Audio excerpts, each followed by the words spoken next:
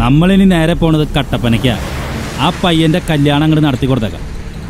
സലീമിനെ എങ്ങനെയെങ്കിലും ജയിലിൽ നിന്ന് ഇറക്കണം ഞാൻ പെണ്ണ് നസീറിനെ വേണ്ടാന്ന് പറയോ? വിശ്വാസം അതല്ലേ എല്ലാം. നീയൊക്കെ ഒരു ഗുണ്ടനോടാ. ആയിരുന്നു. എപ്പ? അവർ പെശക് ടീമാ മുതലാളി. എന്നിട്ട് അവരെവിടേക്ക് പോയേ? ആ ഒരു കട്ടപ്പനക്ക് കട്ടപ്പനക്കാ ആ അതെ മുതലാളി വഴി കൃത്യമായിട്ട് കണ്ണപ്പേട്ടൻ പറഞ്ഞു കൊടുത്തിട്ടുണ്ട്. കണ്ണപ്പ നീ വഴിയൊക്കെ പറഞ്ഞു കൊടുത്ത? പിന്നെ കറക്റ്റ് ആയിട്ടല്ലേ പറഞ്ഞു കൊടുത്തേ.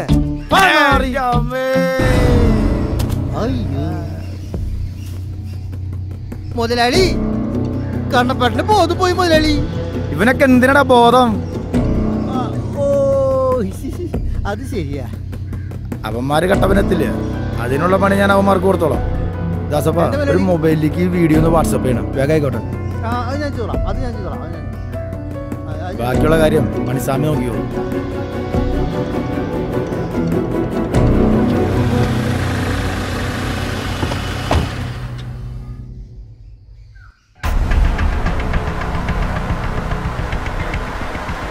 ഡിക്സ ഇതാണ് നസീർ പറഞ്ഞ എസ് ഐ ജോഡി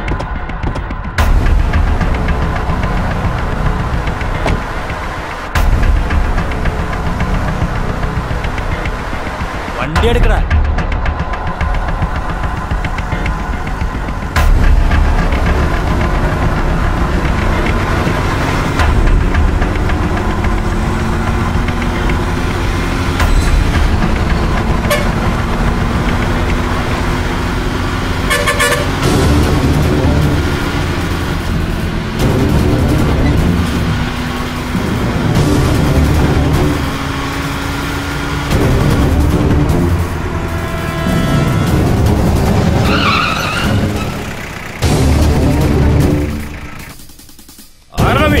വണ്ടി എടുത്ത് പറ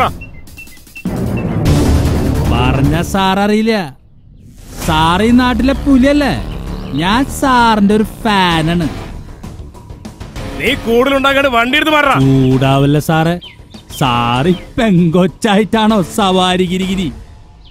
ഡാ പൊന്നാര മോനെ ചൊറിയാ നിക്കണ നീ. എന്റെ മുതലാളിമാരുടെ ഒക്കെ വേണ്ടാത്തടത്തൊക്കെ ചൊറിഞ്ഞു കൊടുത്ത് അതിന്റെ കൂലി പറ്റണ സാറിനെ കാണുമ്പോ എനിക്ക് രോമാഞ്ചം വരാ സാറേ. കുമാര മുതലാളി എത്ര തന്നു സാറേ? ആ പാവത്തിന് കഞ്ചാവ് വെച്ച് കൊടുക്കാൻ.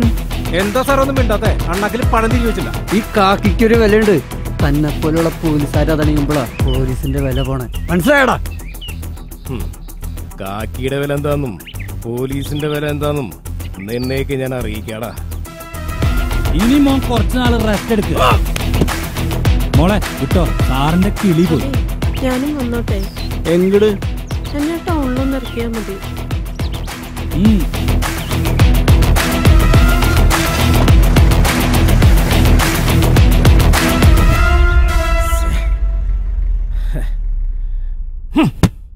ഇതൊക്കെ പുലിവാലി കേസാ. നാറിയുടെ വരെ സെറ്റപ്പും സെറ്റപ്പ് നിന്റെ മൊറ്റവളാടാ. ഹ, കൊള്ളാലോ.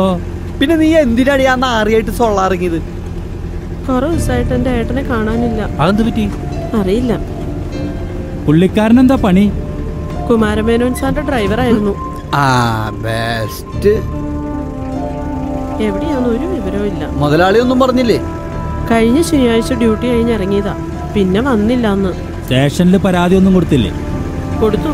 അപ്പൊ ആ എസ് ഐ നാർക്ക് എന്നോടൊരു കമ്പം. അവൻ ഒരു ദിവസത്തേക്ക് എന്നെ വേണമെന്ന്. അവനിട്ട് രണ്ടെണ്ണം പൊട്ടിക്കാനാ ഇന്ന് വന്നേ. പാവം. കരയണ്ടാട്ടാ എന്താ കുട്ടിയുടെ പേര്? ശാന്ത. എവിടെ സ്ഥലം? കൊടകര. കൊടകര ശാന്ത. ഇപ്പൊ ഞാൻ പറഞ്ഞത് സത്യായില്ലേ